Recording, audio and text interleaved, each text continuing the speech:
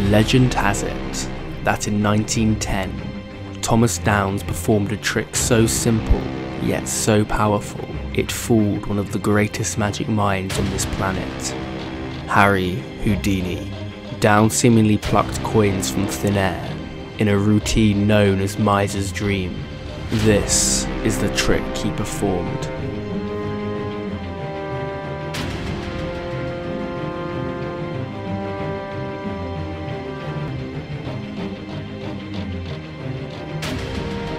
Downs picked up a coin and then did this.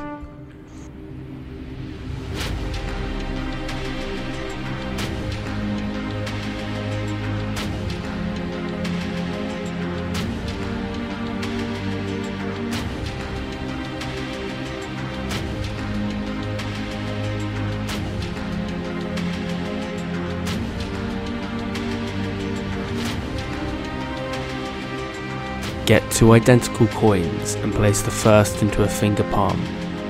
Then show the second coin to the spectator. After that, you need to drop the second coin. To do this, let the coin fall naturally into your hand by moving your fingers forward and thumb to the side. Keep the tips of your fingers at an angle to hide the coin from the spectator's view.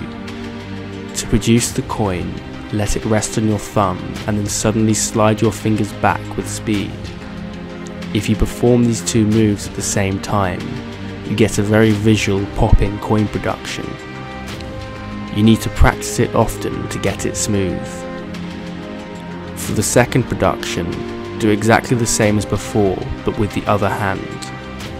Finally, you're going to slide the hidden coin upwards with your thumb whilst dropping the other coin onto the bottom with your fingers. It will give the convincing illusion that the coin has just jumped from one hand to the other.